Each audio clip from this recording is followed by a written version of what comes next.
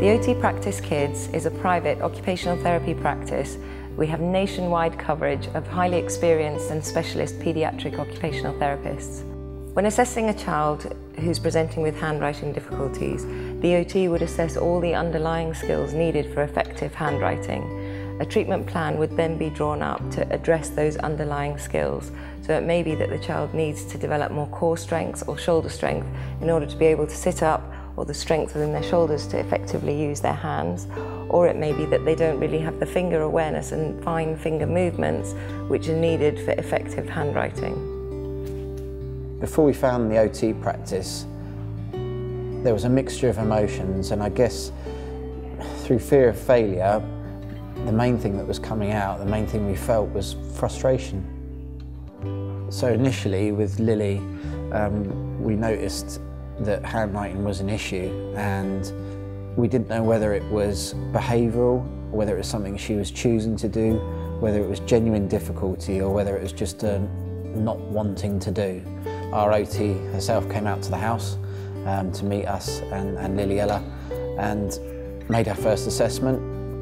And the one thing we were worried about is obviously the relationship between the two and that very quickly became apparent that, that they were going to get a house on fire, which was fantastic.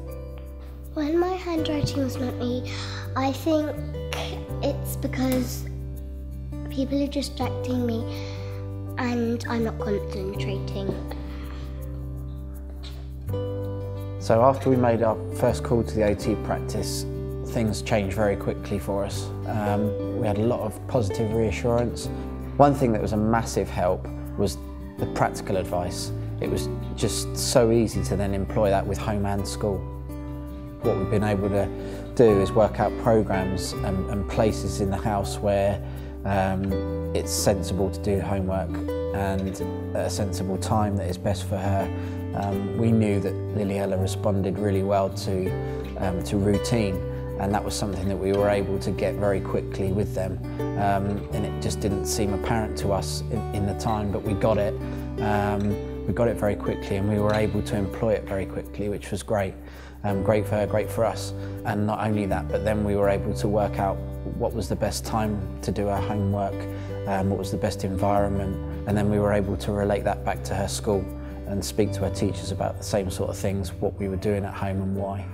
I met Sarah and she taught me how to sit, write my name in glue and do some ABCs in chocolate powder. Following the occupational therapy intervention, whether it be one-to-one -one treatment sessions with the OT coming to home and or school, or whether it be just home and school following an OT programme, Progress is then re reviewed for that child against the original goals set. Having worked with the OT practice for quite some time now, we've been able to see a huge improvement in Liliella, which is great. When I do my handwriting well, I get a sticker. Um, you can get a smiley face sticker, a sticker that says well done, and a sticker that is sparkly and it has a sentence saying Magic is, friendship is magic.